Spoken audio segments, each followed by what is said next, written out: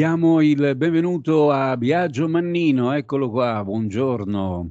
Buongiorno Graziano, buongiorno, come va, come stai? Bene, bene, bene, ti, ti, sento sveglio, ti sento pronto per raccontare tante cose importanti. Eh? Ma certamente. Abbiamo lasciato ieri un tema che mi interessava tanto e so che interessa anche a te perché noi siamo appassionati di tutto quello che accade nello spazio e insomma pare ci sia stata un'esplosione pazzesca. È vero? C'è stata un'esplosione mai vista, mai registrata prima, un'esplosione che ha prodotto una palla di fuoco grande 100 volte il sistema solare. Un qualche cosa che ovviamente ci porta a vedere con, eh, con straordinario stupore quello che accade ovviamente nell'universo e ci porta anche a comprendere come poi di fatto siamo molto molto eh, piccoli nel contesto e i nostri problemi diventano sostanzialmente qualche cosa di insignificante nel discorso dell'armonia dell'universo. Un'esplosione, come detto, che ha prodotto questa palla di fuoco di grande, come detto, 100 volte il sistema eh, solare, un qualche cosa mai ehm, registrato precedentemente, ma soprattutto un qualche cosa di inspiegabile, perché poi di fatto l'osservazione dell'universo porta ad avere delle valutazioni anche statistiche di quello che accade e le spiegazioni non si riescono a dare a tutto. Il team che sta eh, studiando questo fenomeno ha collocato eh, il, il, punto eh, in questione molto molto lontano, parliamo in, di una distanza di 8 miliardi di anni luce quindi un qualche cosa anche qui che ci fa sostanzialmente eh, girare la testa a pensare che tutto questo è successo sostanzialmente 8 miliardi di anni fa. Eh, un'esplosione che sembrerebbe essere iniziata tre anni prima e che, eh, che in questo momento sta continuando a produrre questa forte energia. Il team eh, che viene portato avanti da Weissman di fatto analizza questi aspetti e di fronte anche alla, alla, non capacità di riuscire a dare un'effettiva risposta a che cosa stia effettivamente succedendo e di fatto anche aprendo la strada a tantissime valutazioni, soprattutto una di queste valutazioni diventa molto eh, interessante, ovvero che la scienza spesso non riesce a dare delle risposte e soprattutto non è sempre esatta. Delle valutazioni di non secondaria importanza dette da Weisman, anche perché poi sostanzialmente questo si colloca in una posizione oggi dove la scienza viene più vista come una fede che appunto come un percorso di studio e di analisi. L'astronomia, le valutazioni in questo senso ci fanno volare lontano, Graziano, come tu dicevi, a noi piace molto andare a, così a guardare nello spazio forse proprio anche per uscire un po' da quelle che sono invece le tristezze terrestri. Hai ragione, hai ragione Biagio. È vero, a proposito di tristezze terrestri, Zelensky in Inghilterra. Zelensky in Inghilterra, questo tour che Zelensky sta facendo nel, in, in Europa dà più un senso di andare a cercare di trovare degli aiuti ulteriori, eh, perché poi in definitiva anche da questo viaggio nel Regno Unito, l'incontro con il primo ministro Rishi Sumak, sì, tanti abbracci, eh, tante, mh, eh, tante cerimonialità se vogliamo, tante frasi importanti. Rishi Sumak ha detto a Zelensky sostanzialmente che il popolo ucraino rappresenta per il Regno Unito fonte di grande ispirazione. Poi bisognerebbe capire che cosa significhi fonte di grande ispirazione, ma eh, in ogni caso ehm, ehm, diciamo che dal punto di vista dei toni ehm, e, e, di tutto ciò che circonda normalmente questi appuntamenti c'è stata una vicinanza alleanza assolutamente forte. Lo stesso Zelensky indirizzandosi a Rishi Sunak lo ha definito il suo grande amico, ma poi in sostanza che cosa ha raccolto Zelensky? E, eh, Zelensky ha raccolto promesse, ecco questo lo dobbiamo sottolineare da parte di Rishi Sunak, la fornitura di missili eh, anche finalizzati soprattutto alla difesa, perché poi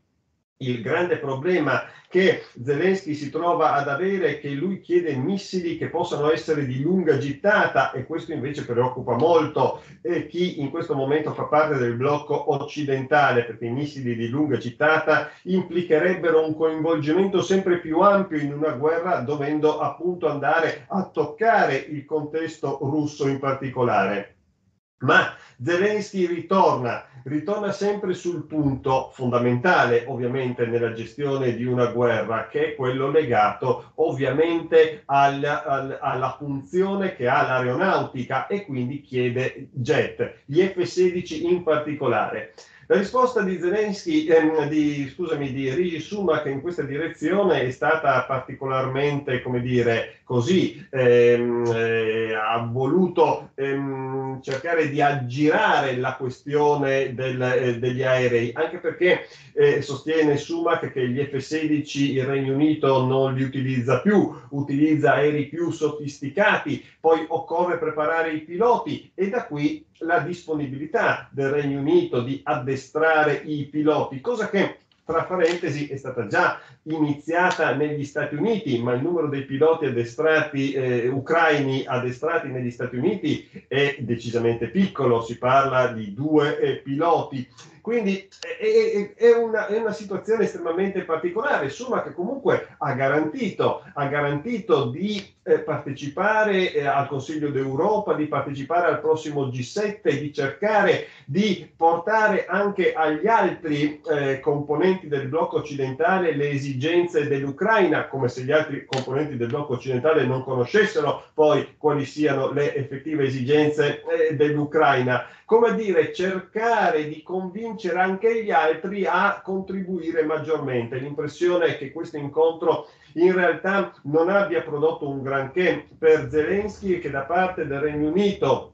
e di Rishi Sumak in particolare si stia tentando di prendere, di prendere tempo. La fornitura, come detto, di eh, missili a lunga gittata, la fornitura soprattutto di eh, aerei, eh, di fatto eh, rappresenterebbe come dire, un'esposizione forte, soprattutto anche in un momento, come abbiamo evidenziato ieri, quando eh, sottolineiamo che c'è un forte impoverimento invece del Regno Unito, come a dire, ci sono questi, eh, questi meccanismi dell'ambito della comunicazione che caratterizza il Regno Unito in questo momento storico, che mostra i fasti de, di un contesto legato all'incoronazione, che mostra un Regno Unito che in apparenza eh, sembra essere determinante ancora in un contesto eh, internazionale, ma che poi al suo interno vive quelle situazioni drammatiche. Lo ricordiamo, tra il 2022 e il 2023 sono stati distribuiti 3 milioni di pacchi legati all'emergenza alimentare una cosa decisamente difficile da poter eh, eh appunto accettare in un contesto di un paese come il Regno Unito dove appunto la carenza alimentare diventa un qualche cosa di estremamente preoccupante perché stiamo parlando dei beni primari, dei beni essenziali alla, alla vita. Questo significa che l'impoverimento del Regno Unito è forte, ma non possiamo dimenticare anche la segnalazione da parte degli Stati Uniti recentemente che invitavano fortemente il Regno Unito a modernizzare il proprio esercito, quindi non più un esercito, come dire, diciamo all'altezza di quell'esercito del Regno Unito del, del passato. Eh, si sostenevano analisti degli Stati Uniti che nel contesto delle, delle, delle, strumentazioni, degli armamenti, dei mezzi che eh, l'esercito eh, britannico si trova ad avere, si parla di mezzi che hanno anche più di 60 anni, quindi eh, è una situazione eh, particolare. Il Regno Unito si trova ad affrontare quel passaggio, come abbiamo detto tante volte, quel 2016, quel 23 giugno, la Brexit ha messo in evidenza tante problematiche strutturali del, eh, del, Regno Unito e che in questo momento si vedono e si vivono soprattutto in maniera eh, eh importante. Un'esposizione in questa guerra sta ovviamente impoverendo tutti e lo stanno dimostrando ovviamente i dati nel contesto del Regno Unito, alcune realtà più di altre, Londra, il Galles, dove il 5% de, de, de, della popolazione del Galles ha fatto ricorso alla, all'aiuto alimentare, quindi aspetti di non secondaria importanza. Quello che è importante invece è, è, quel discorso che non inizia, ovvero il dialogo nella direzione della pace, perché prima di tutto dobbiamo partire da un principio, le guerre non devono iniziare e se le guerre iniziano devono terminare nel più breve tempo possibile, invece qui no, perché le continue forniture di armi poi alla fine non fanno nient'altro che pro, prolungare questa agonia. L'avevamo detto del resto, giustamente. Allora, senti, abbiamo ancora un po' di tempo. Parliamo uh, di elezioni, un aggiornamento dalla Turchia, se possibile, ce n'è?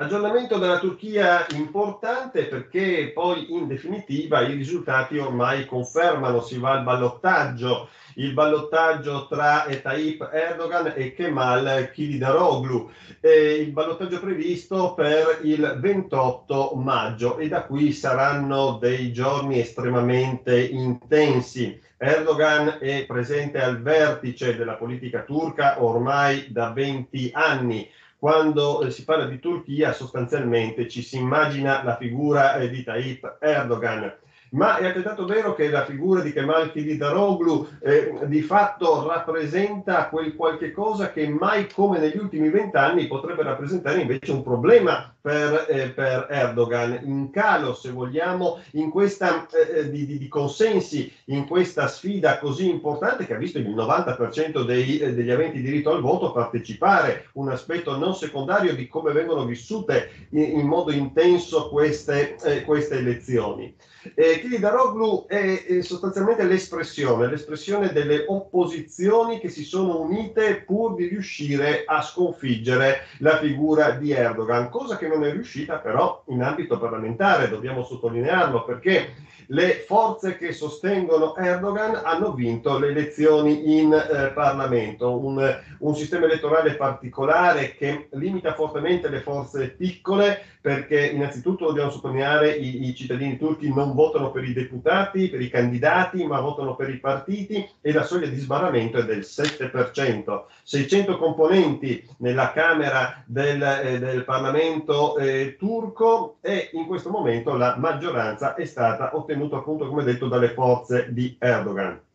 Ma contemporaneamente la sfida presidenziale invece sembra essere lì. Dovesse vincere Erdogan, ovviamente la continuità sarebbe garantita, questa parola che rientra nel post 2020 eh, sempre più in maniera affermata, dovesse vincere Kiridaroglu, ebbene ci sarebbe un vero e proprio cambiamento, ma anche un problema, proprio perché legato a un Parlamento sostanzialmente di colore diverso. Insomma, saranno giorni particolarmente intensi e in nome di queste elezioni il 28 maggio potrebbe rappresentare, come detto, o la continuità o la grande svolta. Ma eh, Graziano ci sono state anche le elezioni lo stesso giorno ehm, anche in Thailandia. Andiamo quindi in Asia, un aspetto di non secondaria importanza, elezioni eh, importanti perché anche lì hanno vinto i partiti di tradizionale opposizione e di opposizione a chi sostanzialmente ha sempre governato nel contesto della Thailandia ultime, negli ultimi anni, perché eh, quella eh,